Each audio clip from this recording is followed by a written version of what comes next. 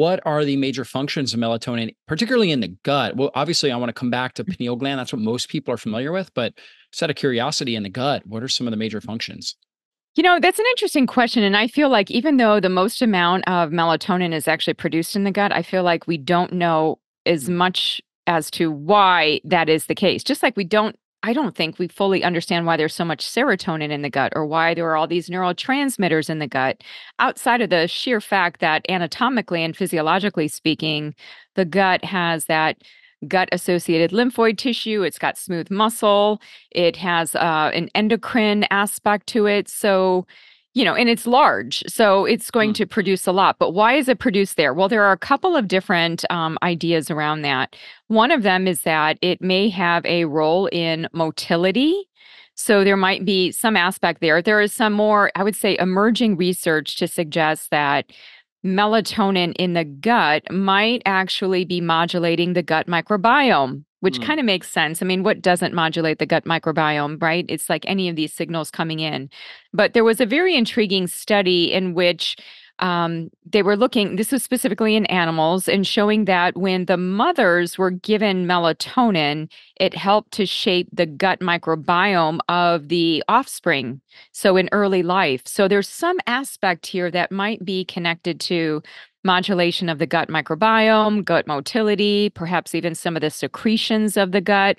But I don't think we fully understand the localized effect of melatonin. And the difference here, too, between the gut and the pineal gland is that the gut doesn't produce melatonin in response to darkness like the pineal gland. It seems to be a response to things like meals or a postprandial effect. But I think that, again, there is that gut brain connection. Perhaps there's more than we fully understand here. So I'm just yeah, going to say that th- there's more. we know melatonin plays an important role in the immune system. And yes. so you have what's 80% of your immune system in your gut with the gastro associated lymphoid tissue. So it makes sense that it would be have some sort of role there in uh, you know, the communication process. That's a really good point. In fact, that's kind of what piqued my interest in melatonin some years ago is that, you know, with all of the discussion of viruses and COVID and whatever else, there started to be discussion around mm. melatonin. And I was thinking, why is this? You know, I'm used to talking about wow. vitamin C, quercetin, zinc, you know, the right. steady eddies, but I wasn't I, I just didn't know enough enough about melatonin, but now I can see that there's clearly an interrelationship for the reason that you just mentioned. That from an immune system activity perspective, there could be an interrelationship, and you do find melatonin within the immune system. Just even the individual players of the immune system do connect into melatonin. Yeah, it'd be interesting to look at melatonin levels and its relationship, if there's any sort of relationship with secretory IgA, right? And some of the major yeah. immune components in the gut. That's a really good question. Um, I, would like to know with that COVID, because because secretory IgA is also in your all your epithelial tissue, all your mucus tissue. So yes, yeah, yeah, that's a really good uh, a really good. And probably there there is. It's just that I think a lot of the nuance between melatonin and a lot of these different dynamics, they haven't been so clearly delineated yeah. like they have been with the circadian rhythm and sleep. Yeah, for sure, for sure. Well, most of us when we think about melatonin, and I know for me for probably up until maybe a few years ago, I just thought about melatonin as our sleep hormone, right? And its impact on the pineal gland. Can you give an overview of that? And then um, let's talk about what happens with a melatonin imbalance? Yes. Okay. So let's talk about the pineal gland. The pineal gland is in the brain, it is a true endocrine gland. So, the way that melatonin is secreted by the pineal gland is that the eyes, we have very specific types of cells within the retina. So the eyes have to perceive darkness or this absence of, of blue light. So we we start to see that as it becomes dimmer throughout the day, what ends up happening is that the retinal cells respond to that and then send a signal to the suprachiasmatic nucleus, which is in the brain, which is then eventually talking to the pineal gland to create that that catalyst of uh, of that conversion between tryptophan, serotonin, and then melatonin, and then that melatonin that is produced is then circulated systemically in order to key into cellular clock genes in order to synchronize the body systems to circadian rhythm. So that's essentially what melatonin is doing. And that's why when people think of it for sleep, they think, oh, melatonin is uh, helping me to sleep. What melatonin is actually doing is it's signaling the darkness to cue the brain to start to synchronize with that diurnal rhythm. So it's a, a synchronizer, it's connecting the clock genes. And what melatonin is good at as it relates to sleep is getting you to sleep, but not always staying asleep right? Mm. And many people think that melatonin is supposed to be solving all of their sleep woes, but that's not actually how it's working or intended to work, or even how it just naturally is produced in the body. Yeah, let's talk talk a little bit more about that. So you're saying it helps you get to sleep, but not necessarily stay asleep. Is that because your melatonin levels start to drop as the night goes on? Well, we do. So as it's dim, so let's just imagine like your typical day. It starts to get dim at about 6 p.m. And and with that level of dimness, as that mm. rises, mm. your melatonin rises. And then you you produce the the most amount of melatonin from your pineal gland between you know, somewhere between 2 and 4 a.m. at that pinnacle of darkness, right? So that melatonin is not just allocated for sleep and circadian rhythm. We're actually doing a lot of cleanup at night. So when I think of the morning, I think of okay, we're in our yang, we're in our active phase, cortisol, testosterone, we're moving, we're doing stuff. At night, we start to see this increase, especially at around that 2 a.m. spot where we start to see that certain enzymes change. So things like glutathione peroxidase or even uh, superoxide dismutase, you know, catalase is up, uh, glutathione goes up. And so it seems that melatonin is in concert with a lot of these different antioxidant defense enzymes. And this is when I'm sure that most listeners will will know about this that we have that brain detoxification that mm-hmm. happens mm-hmm. through the glymphatic fluid. So, that glymphatic fluid flux, which is so important for the release of things like amyloid peptides or metabolites, hyperphosphorylated tau proteins, anything that needs to come out of the brain can only do so when we're not active and engaged. So, we have to be sleeping. And as it turns out, what we see from some of the research that's been done on melatonin and the glymphatic fluid is that there seems to be a relationship between melatonin perhaps serving as a transporter of some of that mm. waste from the brain, or at least being implicated in some aspect of that process. Yeah, it's really interesting. I mean, we know that proteins basically run everything in our body, and oxidation or rusting is what damages a protein. So mm-hmm. just just our daily life, we end up with these damaged proteins, and then we've got to neutralize them and and basically eliminate them. And so melatonin is a part of that that whole process of helping neutralize and eliminate them. And what's interesting is the brain actually gets more metabolically active at night while we're sleeping. Yes. Yes, and that's why sleep is so important because yeah. uh, it, it's recalibrating. You know, that's our rest and digest, and it's it's it's digesting thoughts, it's digesting memories. It's a lot in the the mental mm-hmm. sphere. And some of the other research on melatonin would suggest that it acts as a neuroprotective nerve growth factor. So mm. during the night when we're sleeping, it's not just that we're clearing waste; we're actually creating the space to generate new neurons. So these neurotrophic like effects of melatonin, I think, are really intriguing.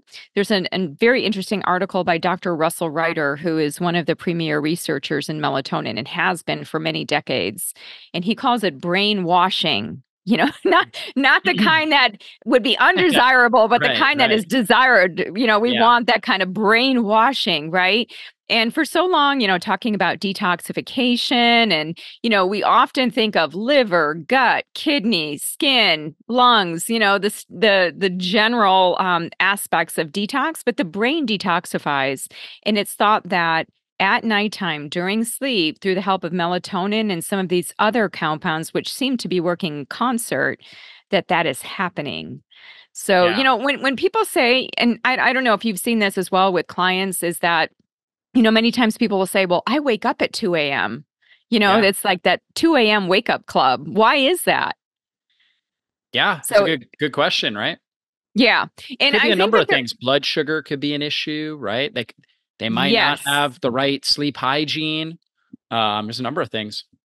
there can be a number of things thank you for for chiming in on that you're right yeah. so many different root causes uh, it could be hormonal so mm. in perimenopausal women you know when you have upregulated inflammation and a lot of those wake up times it could be related to physiology and just needing to to use the the restroom you know or it could be pain it could be like you said mm. fasting mm. um, blood sugar could be really low and so there can be a lot of those different reasons. What I think is really interesting, though, is that if you look at the traditional Chinese medicine chronotherapy and you look at the different organ mm. times, so there are two hour blocks that they see as allocated to certain organ systems. And between 1 and 3 a.m.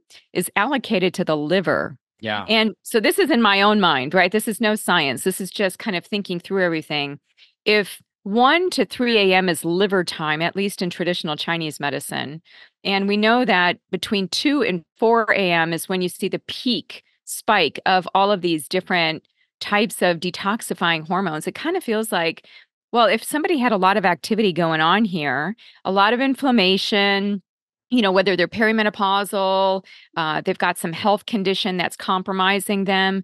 I mean, they might actually have a lot of activity where it could get a little bit unsettling there could be some some sleep upset because of that right so i when yeah. i'm thinking of that 2 to 4 a.m wake up i'm thinking how's the detoxification system mm. how's the liver and the liver is keyed into those clock genes pretty closely. In fact, when you look at all of the different clock genes and where is the largest concentration and the greatest degree of oscillations, it's actually the liver. The liver mm. sets the stage. So isn't that interesting? Just kind of how, yeah.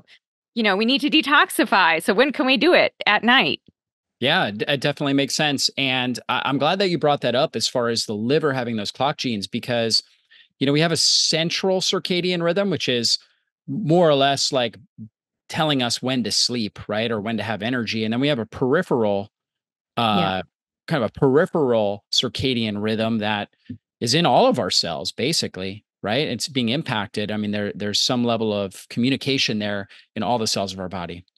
Yeah, it's like an intelligence that's connected to that of nature. Mm-hmm. And so when people are out of alignment, so this is when things go out of whack, when seasons change, um, shift work, jet lag, you know, we start to change up the circadian rhythm. And so, like, even for people that think that they're engaging in really healthy activities, but they're doing it at night under fluorescent lighting. Mm. You know, I even think about people that go to the gym really late, or they're in a library very late, or at a sporting event. You know, all of that artificial light at night, it's called ALAN. It's really acting as an endocrine disruptor. So mm. I think we do need to be thinking about what exactly what you said, kind of like that centralized clock system through the suprachiasmatic nucleus, the peripheral, how is the liver working, and why can things be just thrown off? It's because we're not in alignment for some reason. Yeah, for sure. And a lot of people are dealing with melatonin imbalances. I know I've, I've heard you talk about darkness deficiency as yeah. well. Let's talk about some of that, some of those issues. Well, and there's another phrase I'd like to bring out for everybody. It's melatonopause. I was on a podcast with Dr. Dicken Weatherby, and as we were yeah. talking about all of the situations where melatonin can be low, and I was describing how children, children pre-puberty, have the mm. highest levels of endogenous melatonin that they're going to have their whole lives. And then as they go through puberty and um, just young adulthood, those levels start to come down. By the time you're in your 50s, you're really low. By the time you're in your 60s, it's just bottomed mm. out. So he was saying that that sounded like melatonopause, which I thought was very creative of him. Yeah, for and sure. And it does parallel other hormones, right? So yeah, it makes sense. But there can be other things that can prematurely bring down our endogenous melatonin. So I'll list a couple of those. I already mentioned the artificial light at night. So wearing those blue light blocking glasses, which I have all by yeah. my computer. Right now it's like midday, so I don't need them. We can have that blue enriched light. But the moment, again, it's dark outside and we're not keyed into that darkness, mm. then it starts to look like, you know, we have an overabundance of light. We can call it light excess or darkness deficiency. Either way you cut it, you know, I, I think that we're very tuned into sunlight, and I don't think that human beings have tuned into darkness. Many times humans mm. fear darkness. They don't want to be in the dark. They're working later. Um, you know, it just feels more comfortable to have more electric light all around, but this is damaging ecosystems on the planet. Mm-hmm. And you can even see the earth from afar, all of the different photographs over time, and you can see how illuminated it is. So, this is darkness deficiency, and this is impacting us at the level of our endocrine system, which, as you clearly mentioned, we're impacting all of the cells that are keyed into this. And then we start to go off rhythm. So I, I, think that this has implications for immune disorders, uh, autoimmunity. You can see low melatonin status with conditions that would tie into neurodegeneration. Whether type 2 diabetes can be um, implicated with low melatonin levels, or even looking at, um, you know, any hormonal disturbance. Like even if we looked at polycystic ovarian syndrome, when we look at um, changed androgens and insulin. There's also some changes with melatonin. So anytime you're tugging at the hormone web, you're creating this ripple, ripple through effect of changing melatonin. So if you're stressed and your your cortisol levels have changed in some way, then you're changing melatonin. So as you could see, there would be implications for many different factors that could change melatonin in one's body.